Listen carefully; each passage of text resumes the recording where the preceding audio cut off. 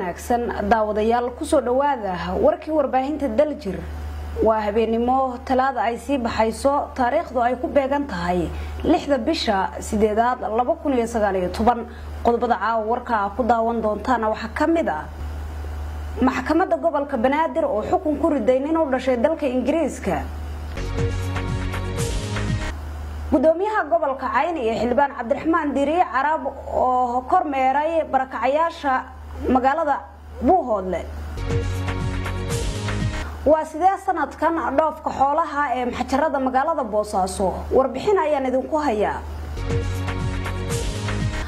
Qaar ka mid ah hooyooyinka ku nool magaalada boosaaso oo madaxda puntland ka codsaday in la sii daayo maxaabiis ku eedaysan burcadbadeednimo iyo ciidamo yugandha ah oo loo tababarayo badaha si ay ugula dagaalamaan ururka al-shabaab qodobada iyo qodobo kale ayaa daawan doontaan daawadayaal intaan ku guda jiro warka warbaahinta daljir hase haatee u diyaar garooba daawadayaal. Aan ku bilaabe maxkamadda gobolka banaadir ayaa xukun ku riday nin u dhashay dalka ingiriiska.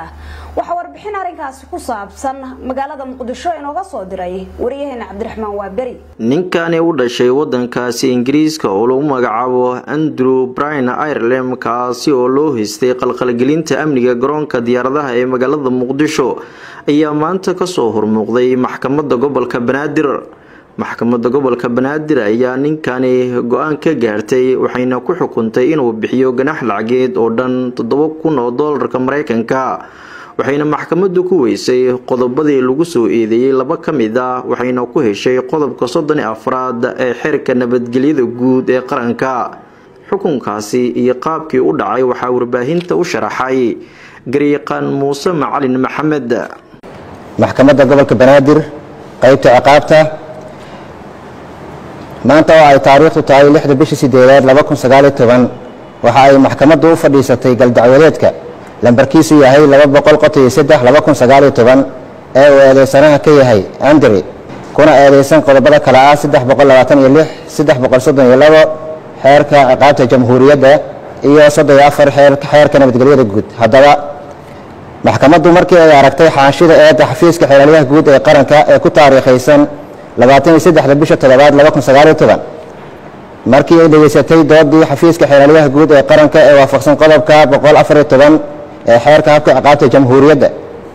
Markii ay dhegeysatay maragyada la hor keenay maxkamadda oo mid mid loo wareystay. Markii ay aragtay marag muujinta la hor keenay maxkamadda oo ka kooban toddoba qasnadood iyo jaakad oo kuwa xabadaha celiyo ah. Markii ay dhegeysatay doodda difaaca ee qareennada eedeysanaha oo waafaqsan qodobka boqol lix iyo toban ee xeerka habka ciqaabta jamhuuriyadda. Markii ay aragtay caddaymaha ka koobnaa qoraalka iyo sawirada ee ay soo gudbiyeen qareennada eedeysanaha. Markii ay dhegeysatay doodda gabagabada xafiiska xeeladaha guud ee qaranka si waafaqsan qodobka boqol sagaaliyo toban ee xeerka habka ciqaabta jamhuuriyadda. Markii ay dhegeysatay doodda gabagabada ee xafiiska qareennada si waafaqsan qodobka boqol sagaaliyo toban ee xeerka jamhuuriyadda maxkamadda waxaa u caddaatay kow in walxaha ka kooban qasnadaha iyo jaakadaha ay abuuri karaan cabsi dadweyne eedeysanuhuna uu ku geliyey boorsada si ogaal ah. Labo in ficilka dhacay aan loo cuskan karin xeerka ciqaabta guud ee jamhuuriyadda. Sidaas darteed maxkamaddu waxa ay ku weysay eedeysanaha qodobada kale ah xeerka ciqaabta jamhuuriyadda iyadoo lagu helay qodobka soddon iyo afar xeerka nabadgelyada guud. Waxayna ku xukuntay inta uu xirnay iyo ganaax toddoba kun oo doolar ah. Rafcaan ayaa ka furan maxkamad ninkani u dhashay wadankaasi ingiriiska ayaa ciidamada ammaanka ka qabteen garoonka diyaaradaha aadan cabdulle cusmaan aadan cadde ee magaalada muqdisho lixdii bishii tagtay ee julaay sanadkan labada kun sagaaliyo tobanka sugoona ku wajahnaa dalkaasi imaaraadka carabta waxayna maxkamadeyntiisa ay bilaabatay koodii soddonkii bishii julaay iyadoona la soo bandhigay toddoba sannadood iyo jaakadan xabadda karin oo uu watay. Andrew brine ireland oo u dhashay dalkaasi ingiriiska islamarkaana maxkamadda gobolka banaadir ay xukunka ku riday ayaa sidoo kale haystay dhalashada dalka faransiiska wuxuuna ka shaqeeyaa shirkadda s k a oo mar maamuli jirtay garoonka diyaaradaha aadan cadde ee magaalada muqdisho. Ka hor intaan lagu wareejinin shirkadda fafori ee laga leeyahay dalkaasi turkiga. Gudoomiyaha gobolka cayn iyo xildhibaan cabdiraxmaan diiriye carab ayaa waxay kormeer ku tageen barakacyaasha kaamanka ku yaalla magaalada buuhoodle waxaa warbixin arrinkaasi ku saabsan inooga soo diray magaalada buuhoodle wariyaheena magaalada buuhoodle ciid maxamed. Gudoomiyaha gobolka cayn cabdirasaaq xaaji xasan xundub iyo xildhibaan cabdiraxmaan diiriye carab ayaa maanta u kurgalay xaalada nololeed ay ku nool yihiin dadka barakacyaasha degan kaamka barakacyaasha ee shangalle oo u jira magaalada buuhoodle lix kilomitir uhoreyntii waxaa halkaasi ka hadlay gudoomiyaha kaamka barakacyaasha axmed cabdirasaaq oo ka warbixiyey xaaladda ay ku nool yihiin. Halkan waa kaamkii waxa weeye barakacyaasha ee shangalle kaamkan waa kaam aad iyo aada u ballaadhan laba kun iyo siddeetan qoys ayaa la dejiyey. Inji oogo noqdo ayaa waxa weeye dadka aruurisay. Labada kun iyo toddobiyo tobankii ayay aruurisay bisha koob iyo tobnaad. Dadkanoo silicsan oo aad iyo aad u silicsan oo rafaadsan. Oo ilaahay maada ka gaadhay waxa weeye inaadu dadka aruurisay. Wooshkii bay u samaysay. Wax badan bay u qabatay. Laba boqol oo iskuuli bay u samaysay. Biyihii bay u waxaysay wax aad iyo aad u weyn bay u qabatay waxa weeye. Sida qoraxdaasoo kale cad oo taaban karo. Haddeerna weli gacantay ku sii haysaa biyihii way wadaa caafimaadkiina way wadaa labada kun iyo siddeetanka qoys ayaa la dejiyey. Waxa weeye waa kaam kala dambayn leh guddi buu leeyahay nidaam buu leeyahay uu ku dhaqmo. Biyaha waxa weeye nooda ayaa iminka noo dhaamisa waxa weeye oo haddeer biyo waanu qabnaa laakiin baahida noogu weyn ee noogu daran waa biyo weyn. Dadka intaa leeg waxaa la gaadhsiin karaa way yariin biyuhu aad bay noogu liitaan riig baan u baahannahay dadka intaa leeg riig uma anfici karaa. Waxaan riig ahaynoo anfici karaa dadka intaa leeg ma jiro gebi ahaanba baahiyaha ugu daran waxaa ka mid ah qaybta cuntadoo kale w f o mudday soo waday qoodintaas raashin ayay ka bixinaysay siday noo sheegtayna bilihii ugu dambeeyey waxay noo sheegtay saddex bilood inay harsanaayeen. Laba bilood way bixisay haddeer bilunbaa harsan. Intay noo sheegtay rasmiga ah waxaa ugu daran biyaha iyo baadka iyo waxbarashada iyo caafimaadka nooda imika haddeer dee fangelisa waxa weeye iyo biyaha. Laakiin asaasiyaadka noloshoo dhan baa waxa weeye meesha u baahan tahay dee waa barakacyaala waad aragtaan waxa weeye hoy male guryahooda waa noocaas. Ugu dambeyntii waxaa hadalka isaga kala dambeeyey gudoomiyaha gobolka cayn cabdirasaaq xaaji xasan iyo xildhibaan cabdiraxmaan diiriye carab oo ka tirsan golaha baarlamaanka ee puntland. Maanta i d p ska shangalle maamulka xafiiska gobolka iyo xildhibaanka oo isaguna maaragtay taakule nagu siinaya shaqadii anagu ka haynay ayaanu ku nimid kaamkan. Runtii waxaan daraaseynaynay qaabka nololeed ee ka jira kaamkan waa mid la odhan karo meel wanaagsana waa la soo gaadhsiiyey waxna in loo sii joogtayana wuu baahan yahay. Tusaale ahaan dhibaatada imika ugu haystaa waxaa weeye balligii shangalle ka cabi jireen wuu go'ay biyo dhaamis baa loo qabtay. Biyo dhaamiskaasi wuu socon doonaa insha allahu muddo ilaa sagaalaad buu socon doonaa. Sagaalada haddii dee roob la waayo waxaan lagama maarmaan noqonaysaa in loo sii wado oo maaragtay la helo cid maaragta u sii dhaamisa ama hay'adda hore unisef iyadoo ha sii kordhiso ama meelo kale waxaa looga hele inta roob la helayo in lagu simo dadka waa muhiim weeye. Sidoo kale dhinaca raashinka raashinka w f u bay meesha ku deganaayeen iyadana waa kuwana waxay sheeganayaan wax uuna garantiinay in hal bil ay u harsan tahay iyadana in la helo raashin joogto ah dadkan loo helo. Dad ka kabtay maaha abaartii soo martay xoolaha ka dhammaystay ka kabtay maaha. Dad mashaariic kaloo loo sameeyey oo xoola iyo wax abuuray maaha. Waa sidii ay markii ugu horreysay u caydhoobeen haddana weli caydh u ah u baahan kaalmada caalamka kaalmada humanitarianka u baahan weeyaan. Marka annaguna insha allahu inta aan la dadaali karno waa la dadaalaynaa.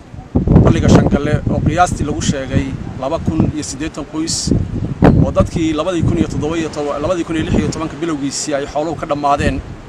Runtii haddii aanu aragnay oo aanu ku dhex wareegnay baahi fara badan ayaa dadkan kaamkan degan ka muuqata. Runtii haddaan tusaale u soo qaadanno meesha hadda aan taagannahay waa iskuulkii dadka. Waxaa tabarrucaad ku sameeyey dhallinyaro n g o deegaanka laga leeyahay oo la yidhaha naado oo ay implementation ku sameeyaan ama ay maalgeliyaan hay'adaha unisef runtii dadkan baahidooda waa loo jeedaa wax cad weeye waxay u baahan tahay dowladda puntland iyo hay'adaha international n g o-ga iyo u n kuba inay ka caawiyaan baahiyaha faraha badana jiro ay ka mid yihiin. Meeshan biyo ma leh. Runtii anjoogu biyaha u dhaaminayaana ma biyo kafayn karaa ama biyo ku filan hay'adda unisef oo runtii wax badan ka qabatay iyo hay'adda w f b iyaduna sidoo kale ka caawisa dhinaca raashinka iyo hay'ado kale oo international n g o oo caawiya waxba ka gaadhsiin maayaan. Dadkani waxay u baahan yihiin biyo joogtaa inay helaan. Dadkani waxay u baahan yihiin xarumo caafimaad oo waaweyn inay helaan. Dadkani waxay u baahan yihiin iskuulle inay helaan. Wax kasta oo ka turjumaya baahida qof bila'aadan u baahan yahay i d b kamiska ama xeradan barakacayaasha dadka xoolu ka dhammaadeen ay u baahan tahay sidaas daraaddeed waxaan ugu baaqaynaa hay'adaha caalamiga ah iyo kuwa internationaalka ah inay la soo gaadhaan oo caawiyaan oo ka caawiyaan. Haddii caawin jireenna u kordhiyaan wixii ay ku caawin jireen runtii. Halkan waxaan uga mahadnaqayaa hay'adda unisef iyo hay'adda w f b iyo hay'adda n r c oo iyagu runtii wax la taaban karo ka qabtay. Laakiin baahidu kuma filna dadka deegaanka dadka barakacyaasha dadka xoolu ka dhammaadeen. Inta ay dadku u qabanayaan waxaan dowladda puntland sidoo kale ka codsanaynaa inay dadka kan loo raadiyo biyo ay ku noolaadaan. Biyo muxuu aha waxbarasho loo raadiyo oo sida wasaaradda waxbarashada oo kale wasaaradda biyaha oo kale wasaaradda caafimaadka oo kale inay yimaadaan oo soo gaadhaan dadkan waa dadkii uu madaxweyne siciid cabdilaahi deni iyo madaxweyne ku-xigeenku ay ballan qaadeen inay wax badan u qaban doonaan. Insha allahu tacaala inkastoo aan ognahay dowladdu inay cusub tahay haddana waa lagaba maarmaan in wixii loo awoodi karayo la soo gaadhsiiyo. Halkan waxaa ka jira amni aad iyo aad u wanaagsan waxaa leeyahay kaamku ciidan bay leeyihiin yacni amniga ilaaliya. Waxay leeyihiin madax kala dambaysa waxay leeyihiin wax kasta waa u dhan yihiin baahida aanu maanta indhahayaga ku aragnay annaga iyo guddoomiyaha gobolka inaad si fiican oo dhaqsaa oo weliba deg deg insha allahu tacaala aad uga jawaabi doontaan ciid maxamed gunre radio daljir buuhoodle waa sidee sanadkan dhoofka xoolaha ee maxjarada magaalada boosaaso warbixin ayaa waxaa inooga diyaariyey wariyaheena cabdiraxmaan xudeyfi xilli ay muddo kooban ay ka harsan tahay moosimka xajka ayaa maxjarada xoolaha ee magaalada boosaaso ay ku soo qulqulayaan xoolaha sanadka loogu talagalay in laga dhoofiyo degada weyn ee magaalada boosaaso. Maxjarka u weyn magaalada boosaaso ayaa waxaa xilligan ku sugan xoolo badan kuwaasi oo qeybka ah kuwa laga dhoofinayo degada magaalada iyadoo halkaasi lagu xanaanayo ka hor inta aan laga dhoofin degada islamarkaana la hubiyo caafimaadkooda agaasimaha maxjarka puntland mudane cabdirasaaq maxamed xasan ayaa ka warbixiyey xoolaha sanadkan ka dhoofay degada iyo dalalka loo dhoofiyey runtii xoolaha dhoofa dhoofidoodu haba yaraatee wax wey way socdaan waxayna aadaan wadamo kala duwan sida yaman iyo cumaan iyo xoogaa yaroo hadda aanu u dhoofinay sacuudiga u dhoofinay oo ah tiro maaragtay aada u yar. Xoolahana waxa waxaa lagu baaraa ay ku soo degaan waxa weeye maxjarada. Shaybaarka maxjarada iyo dhakhaatiirta joogtaana waxa weeye waxay baaraan caafimaadka xoolaha. Caafimaadkaas waxa weeye waxaa laga baaraa wax laala wixii cudurro ah oo markaas waxa weeye meelaha loogu talagalay oo loogu dirayo xoolaha loogu dirayo cudurrada maaragtay muhiimka ah oo ay qabaan xoolahaas baa loogu laga baaraa. Shaybaaradaasi waxa weeye dhakhaatiirtuna waa niman xirfad u leh baarista xoolaha. Shaybaarkuna waxa weeye qalabka wax ku baaro iyo daawaduna waxa weeye shaybaar la isku halayn karo daawadiisuna waxa weye dawo fiican weeye. Inta maxjaradu xooluhu ay joogaanna maxjarada waxaa lagu xanaaneeyaa xoolaha lagu xanaaneeyaa run ahaantii waxay leeyihiin meelo berbalooyin oo ay harsadaan. Waxay leeyihiin biyihii maaragtay ay cabi lahaayeen. Waxaa kaloo meesha loogu diyaariyaa wixii ay cuni lahaayeen. Runtii waxa weeye ilaalinta xoolaha ama xanaanaynta xoolaha maxjaradu waxaa la iska saaraa muhiimad gaar ah baa la iska saaraa. Waxyaabaha hadda lagu xisaabtami karo oo soomaaliya guud ahaan ay dhaqaalaheeda ku xisaabtami kartana waxa weeye xoolaha. Waana lafdhabarta koowaad ee ay leedahay maaragtay soomaaliya leedahay gaar ahaana puntland. Waxay ku xisaabtami karto oo dhaqaalaha laga heli karo. Waa muhiim weeye. Waxaa loo baahan yahay in loo raadiyo suuqgeyn xoolaha suuqgeyn loo raadiyo. Waxay u baahan yihiin in la xanaaneeyo. Runtii waxa weeye wasaaradda xanaanada xooluhu aad bay ugu dadaashaa inay xoolaha ay xanaanayso cudurrada ka duwayso waa ogtihiin oo timo badan baa u baxa. Guud ahaan gobollada puntland oo dhan si loogu daweeyo xoolaha waxaana loogu tagaa goobahooda maaragtay ay joogaan baa xoolaha loogu tagaa. Runtii dowladda puntland waxay aada ugu dadaalaysaa inay maaragtay xoolahaas ay u raadiso suuqgeyn si loo helo maaragtay dhaqaalaha puntland oo kor u kaco waxaan ganacsatada soomaaliyeed ee ganacsatada reer puntlandna ugu baaqayaa inay ka dhoofsadaan xoolaha dekadda boosaasood. Oo ay u furan tahay xili walbana diyaar loo yahay habeeniyo maalinba si xoolahaasi ay u aadaan meelihii loogu talagalay. Intaasaan rabay inaan idila wadaago. Cabdiraxmaan cabdi maxamed warbaahinta daljir magaalada boosaaso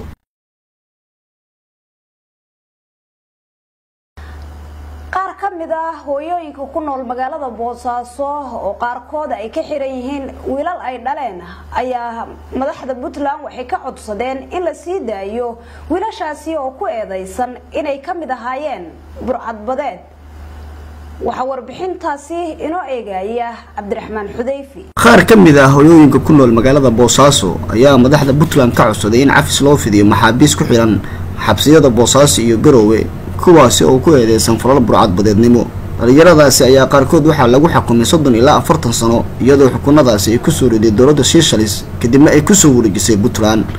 Haddaba hooyooyinkaasi warbaahinta daljir la hadlay ayaa waxaa hadaladoodii ka mid ahaa. Bismi illaahi araxmaan araxiim bismi illaahi araxmaan araxiim allahuma salli calaa sayidina maxamed marka hore waxaan idin salaamayaa idaacadda daljir marka xigtana waxaan salaamayaa soomaaliya oo dhan gaar ahaan puntland. Codsi aan ka codsanayo dowladeyda puntland madaxweynahayga madaxweyne ku-xigeenka gudoomiyaha baarlamaanka golaha shacabka dhammaantood iyo wasiiradoodaba. Waxaan ku salaamayaa salaanta islaamka waxaan codsanayaa annaga oo ah hooyooyin badan oo dhib qaba oo wiilashoodii xirxiran yihiin oo laga keenay si shilis waxaanu codsanaynaa dowladda ka codsanaynaa oo ay maamulada qaybi sii daysay. Waxa waaye xabsi dheer ku xiraa qayb xanuunsan tahay qayb caloosha ka soo dhacday qayb ay tiibi qabaan qayb sankori ku dhacday qayb kuba dhimatay oo iyagoo xabsigaas ay ugu xiraayeen naftoodii waayey. Ilaahay baa lahaayo la tegey. Waxaan ku codsanaynaa dowladdeeda sharafta leh. Codsi inay noo sii dayso wiilasha tixgeliso codsiga iyaga hooyooyin baanu nahay. Dadkii doortay oo madaxweynaha u ahaayeen baanu nahay iyo baarlamaanka. Codsi baanu codsanaynaa ay noo sii daayeen wiilasheeda waxaanu ilaahay dartii ka codsanaynaa inay noo sii daayeen wiilasha. Xabsiga ku raagay soddon wiil weeye. Waxay ku xiran yihiin garowga iyo boosaasay ku kala xiran yihiin waxaa lagu xukumay sideed iyo toban sano waxaa lagu xukumay labaatan adugu hadeer toban sana xiran yihiin wiilashaas. Waxaa soo xukuntay dowladda sishilis waxa lagu haystay waxay dhaheen badday ka kalluumaysanayeen burcadbeed ahaan bay u qabsadeen laakiin annagu ilaahay baa yaqaan waxay ahaayeen kalluumaysi baa noogu cadiyey wiilashaas waxaanu codsanaynaa in naloo sii daayo oo nala tixgeliyo oo madaxweyne iyagu naga tixgeliyo. Isagu waa cusub yahay. Hadduu dowladda qabsaday toddoba bilood haystay. Waxaanu codsanaynaa wiilasha madaxweynuhu inuu noo sii daayo hooyooyin baanu nahay. Dadku madaxweynaha u ahaa baanu nahay. Dadkii doortay baanu nahay. Dadka iminkana soo dhaweeyanaya la shaqaynaya waxa weye madaxweynahaas hanoo eego hoos hanoo eego dib hanoo eego hana tixgeliyo hanoo sii daayo wiilashaasaan ka codsanaynaa madaxweynaha bismillaahi raxmaani raxiim assalaamu calaykum waraxmatullaahi wabarakaatu waan salaamayaa hooyooyinka halkan aanu isku fakarka ku nimid iyo idaacadda daljir iyo daadihiyaasheeda waxaan kaloo salaamayaa dowladayada puntland madaxweynuhu u sareeya madaxweyne cabdulaahi siciid cabdulaahi deni madaxweyne ku-xigeenka axmed karaash gudoomiyaha baarlamaanka golaha wasiirada kuwan la yidhaaho golaha shacabka oo aan sidii aanu u soo xulanay oo u soo dooranay noogu shaqayn haddaanu nahay bulshada oo aan baahidayada dareemin iyo bugtadayada aan dareemin u qarin mayno maanta waanu sheegaynaa. Ma dareemin waxaanu u doorannay. Ma baadigoobin maxaabiistayada baahanahayaga iyo maxaanku idhahdaa sidii aanu u soo xulannay nooguma ay adeegin. Waxa weeye inaanu idin xusuusino xaq baan u leenahay hooyooyin baan nahay waanu dhibannahay dhibanayaal baanu nahay muddaanu dhibannahay toban sano waxbaa dheer. Gabadho hadda waxay tihi toban sano. Toban sano way ka badan tahay. Ma garanayno dhallinyaradaas aanu ku soo dhimanay oo u soo dhabarbeellay burburka aanu ku soo korinay oo wax ku soo barnay. Waxa ay nagaga xiran yihiin ma aanaan dareemin. Qaar baa dhintay qaar baa tiibi qaba qaar baa caloosha ka soo dhacday qaar baa sonkor qaba qaar baa beer xanuun qaba qaar baa gaas qaba oo sambabkoodiibaa khatar yahay inay ku dhintaan. Okay qaar baa xabada ku yaalin. Ma garanayno dunuubaha ay ku eedaysan yihiin. Kalluumaysatay ahaayeen burcadbadeed baa loo qabsaday. Shiishilis baa la geeyey gaalaa soo xukuntay. Sideed iyo toban sano labaatan sano baa lagu soo xukumay. Waa cimriga wiilka. Labaatan jirka oo labaatanka kale lagu xukumay. Waa cimrigaha ku furtay la tahay. Ma dareemayno macnaha waxa ay dowladayadu uga aamusan tahay. Hadduu yahay kuwa tegey oo hore hadday yihiin iyo kuwa hadda yimid hadday yihiin siciid cabdulaahi eedayn mayno hadduu kow noo yahayno cabashadayada u gudbinaynaa laakiin madaxweynayaashii hore maxaabiistaas hoosuma ay fiirin. Xukunkii gaaladu soo xukuntay bay u raaceen. Halkaana waa lagu ilaaway qaar baa ku dhintay waad ogtihiin. Qaar baa ku dhaawaca. Cudurrada ay qabaan waad ogtihiin. Idinkaa gacanta ku haya haddaad dowladii tihiin.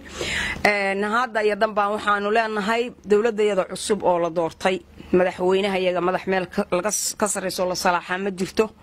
Waxaanu leenahay mudane madaxweyne hooyaa ku dhashay. Waad ogtahay hooya xanuunkay wiilkeeda ka qabto oo toban sano wax ka badan ka xiran oy dhib ku soo korisay shaah ku soo korisay gidaar ku soo korisay. Hadday doonto agoon ku soo korisay qaar baa agooma ah oo hooyooyin kalihii wataan oo baddaa uu ugu jillaabasho tegay oo burcadbadeed lagu eedeeyey. Labaatan sano lagu xukumay. Muddaanu aamusnayn oo waxaanu aamusnayn madaxweynahan dambe oo soo socdabaa ilaahay xaqa fahansiinaya oo hooyooyinka dareemaya hooyo xanuunkeeda dareemaya.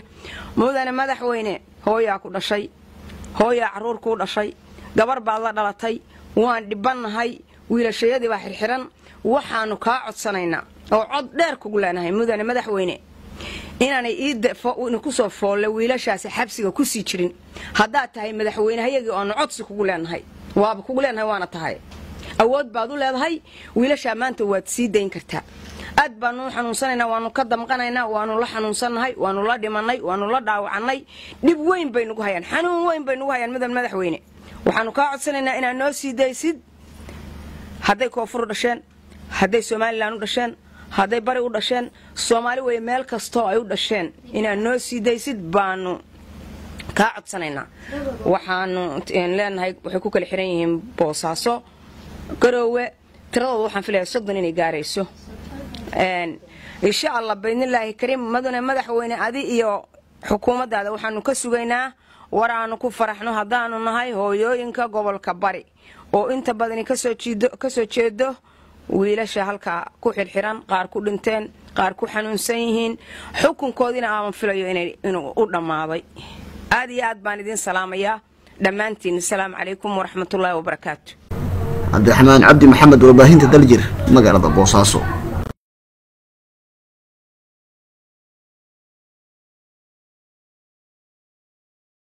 haatan akhbaaraadka dibadda. Tababarayaal militari oo ka socda dalka britain ayaa waxay ciidamada uganda u tababarayaan sida looga dul dagaalamo doonyaha iyadoo ciidamadaasi loo diyaariyey inay ka qayb galaan la dagaalanka ururka al-shabaab ee badaha soomaaliya. Sideed khabiir militari oo ka socda ciidamada badda ee boqortooyada britain ayaa waxay ciidamadaasi ay tababar ku siinayaan in ka badan hal bil xeebaha haraad ee dalka uganda tababarkaasi oo ciidamada uganda lala wadaago khibradda dagaalka qaabka loo isticmaalo doonyaha howlgalka ilaalada badda ee ka shaqeeya baraha lagu baaro gaadiidka iyo sida looga hortago doonyaha laga shakiyey ciidamada uganda ee loo tababarayo xirfadda ciidamada badda ayaa la filayaa in loo soo dadgureeyo soomaaliya si ay u ilaaliyaan badda ku hareereysan dekada weyn ee magaalada muqdisho. Wargeyska daily mail ee ka soo baxa london ayaa waxaa warbixin dheer uu ka qoray inay toddobiyo toban askari oo britain oo qeyb ka ah kooxda khibradda leh ee ciidamada dhulka tababarkaasi diiradda ku saarayaan casharada dhanka sirdoonka iyo sidoo kale difaaca saldhigyada howlgallada ee aagga hore ee dagaalka. Dhinaca kale tababarka ay khubrada u k siinayso ciidamada uganda ayaa waxaa qeyb ka ah badbaadinta aadanaha arrimaha jinsiga la macaamilka dhibanayaasha la tahriibiyo si kastaba ha ahaatee uganda ayaa waxay soomaaliya ka joojisay ilaa shan boqol oo askari kuwaasi oo qeyb ka ahaa ciidanka howlgalka amisom ee tiradooda guud ahaan ay tahay labada kun. Guud ahaan daawadayaal war wixii dunida iyo daafaha caalamka naga soo gaaray caawa naga intaa warkaan u faadma degana ayaa idinla socodsiinayay aniga iyo bahdi igala qayb qaadatay. Waxaan idinkaga tegaynaa sidaas iyo nabadgelyo